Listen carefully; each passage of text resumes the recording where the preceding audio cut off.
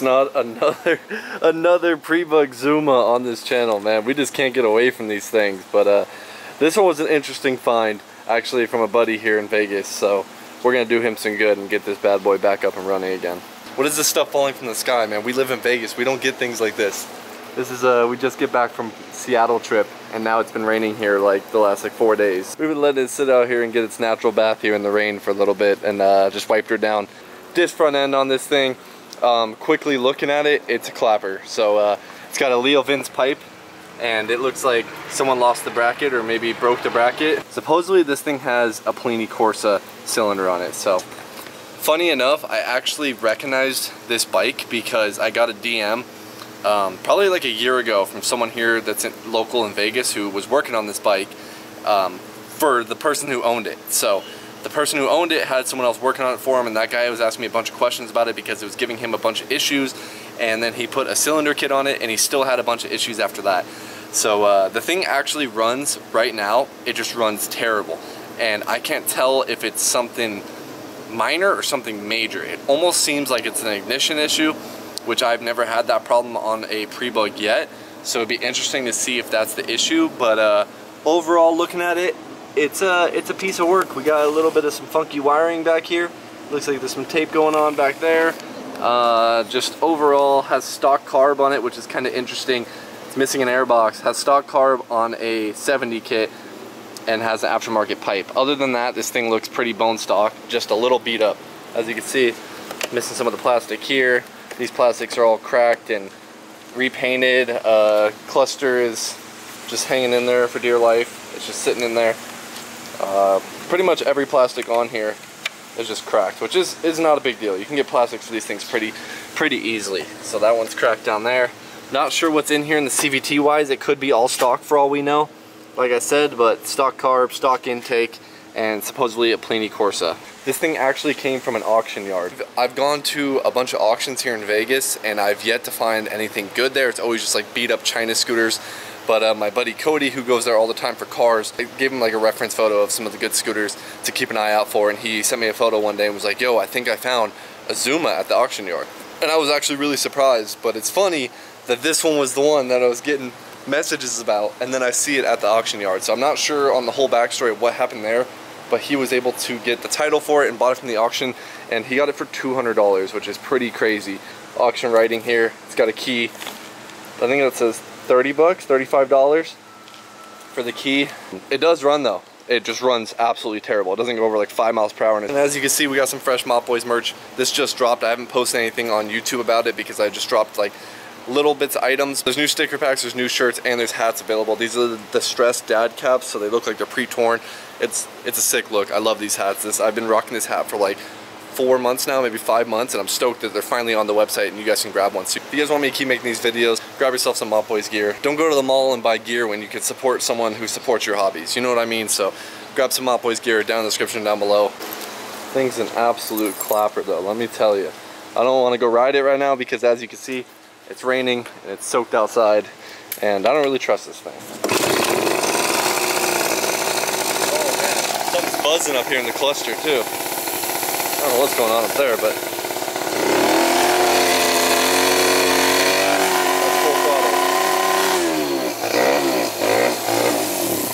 She didn't like that.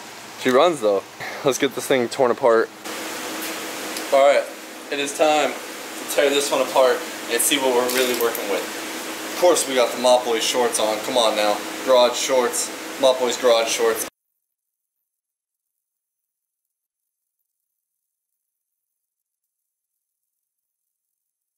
Still going through this thing, but it's clapped. So it needs a lot of work. I'm waiting for Cody to let me know how deep he wants to go on this thing because I don't want to try fixing it as is.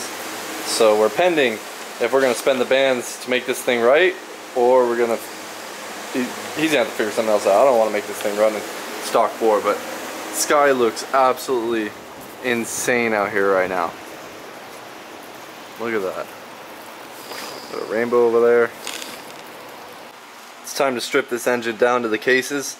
We got it sitting up here on the bench and it definitely needs to be power washed first. This thing is absolutely filthy. So I'm gonna pull it out, clean it all up, and then we'll strip her all apart. This thing's getting a full 70 kit.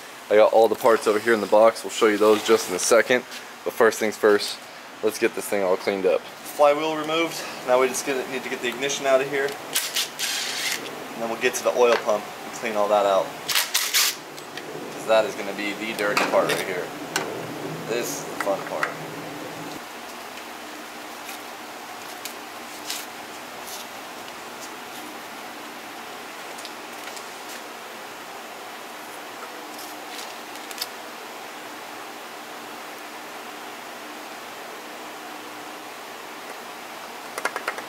Oh my god, dude, look at that play.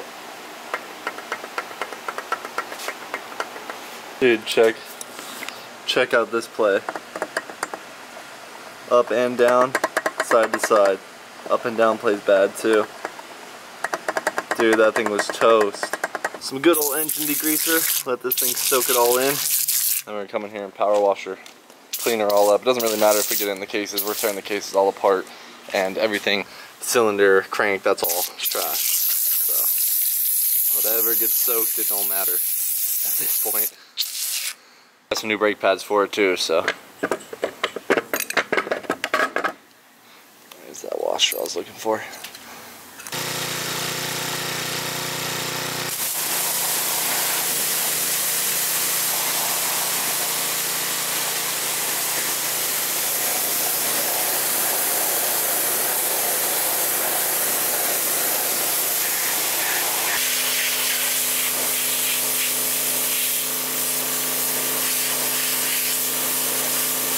Let's see.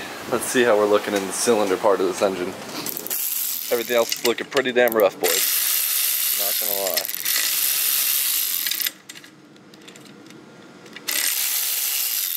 Also, I noticed that the flywheel was just caked in dirt, so it was probably not getting a good connection from the flywheel at all either. Oh man, this thing is rough, dude. Does not feel good at all on the top end.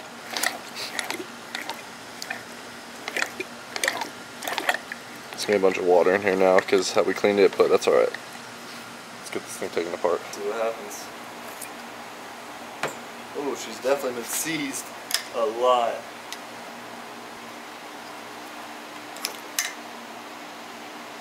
Just see there's like metal shavings all caked up in the deep side of this piston. It's stacked in there. This one's rough. Cracking these case bolts loose. It's time. It's time to split this case up, boys. These are all out already. Crank is already toasted, so there's no uh, no reason to take it easy on her. So we're hitting it with the old uh, hammer her out action. And call it done. No, she's already splitting. Only hit her those couple times and she's already splitting up. Let me just move this thing around real quick.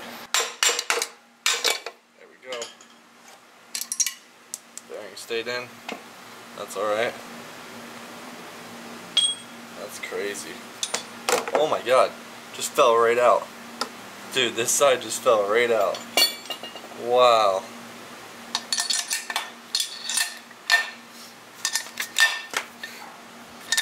That Look at that. Man bearing is done, dude. That is crazy. Wow. Toasted, boys, toasted. Alright, I was gonna wait till the next video to show you guys what we're working with here, but I figured I'd show you guys in this video since we already got the engine torn apart pretty quickly.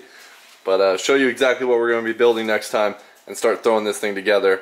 But uh, we gotta wait for this crank and these bearings to freeze up a little bit. We're also gonna be using the dry ice trick, which I did in the last build when I built Josne's Blue Zuma. So uh, works way better with the dry ice. But uh, basically we got cases here, all split and stripped, ready to go together. And uh, first thing we're to be doing is popping in these bearings. We got some S23 bearings and seals right here. Get these bearings nice and frozen. It makes it a lot easier to pop them into the cases. And then uh, going off the bottom end, we got a stage 6 full circle crank. I really like these stage 6 cranks. Oh, Almost dropped her. Been using these on a lot of the builds lately, and they've been treating me right. So stage 6 crank going in there to go with the stage 6 bottom end. We're doing a stage 6 top end. So we got the MK2 which is the aluminum cylinder, but it comes with a dual ring piston. So it's not the race one with the single ring like I did on the F12. A little bit less aggressive, a lot more reliable. So I really like the ports on these stage 6 cylinders, which is why these are going to be my go-to cylinders from now on for these builds. But very nice ports going on in here in the intake. Very nice ports down here on the cases. You're going to have to do a little bit of case matching and uh, Dremel out these cases just a little bit to open up for this port right down here, which uh, doesn't really fit on the stock cases. So we have to Dremel that out a little bit. Very nice piston, dual ring piston. To go along with everything else, we got a stage 6 intake. I really love these intakes, the big intake, and you could put a V4 style carbon reed in here and it just makes this thing kick ass. So we'll do a little bit of port matching on the intake itself because when you do those reeds you'll notice that this uh, elbow on the intake the diameter is a lot smaller than the reed cage itself. So we'll open that thing up a little bit and uh, simply we got fuel line, we got a 1500 Contra Spring top performance CVT kit. These are really killer. I usually go with a stage 6 variator, but these kits actually kill it and it comes with a belt. So top performance kit there. We got the Polini three shoe adjustable clutch. I really like these. We're gonna change the springs in it, but really nice clutch right there. And uh, of course, Polini CP carb, my go-to, 21 mil carb right out the box. You can slap it on there with the jetting that comes with it. I usually move the needle clip to the top. Those things absolutely kill it. Temp gauge, 100% mandatory if you're doing a build. Don't be running no temp gauge on your bikes, boys. Pay attention to your temps temp gauge, fuel line, and of course a throttle cable because you're not going to be running the stock throttle cable which is split off for the oil pump as we did oil pump delete. So that's everything we're working with here. This is basically the full entire engine build. This is nothing for the scooter itself besides the throttle cable, but this is everything to throw this engine back together. So uh, that's what we're going to be working on next time in the next video, boys. Stay tuned for this build. This thing should be coming back to life very shortly. So that's going to do it for this one. Make sure you guys like, subscribe, and if you guys need to buy parts for your scooters, if you guys are looking to do a build, make sure you check out the description down below. Use code MOPBOYZ and you can save some money on your scooter parts over at Scooter Swap Shop. Click the link right here if you want to check that out, and I'll see you guys in the next one.